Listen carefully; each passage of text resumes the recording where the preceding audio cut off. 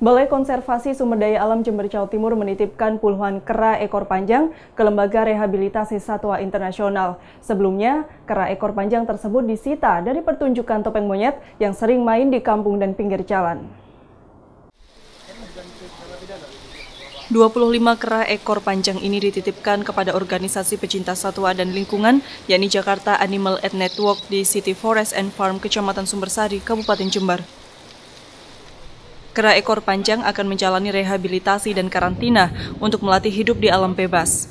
Hewan primata endemik Asia ini sebelumnya diamankan dari pelaku usaha topeng monyet yang biasa menggelar pertunjukan keliling kampung dan di pinggir jalan.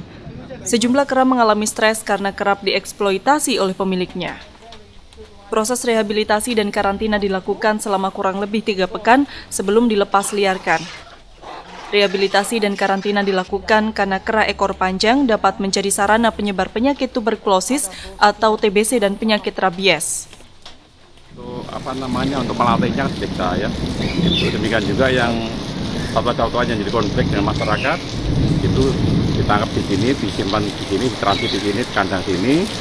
Itu nanti akan di uh, direhabilitasi, kemudian di diobati sakitnya, setelah itu akan dilepasliarkan ke alam ya.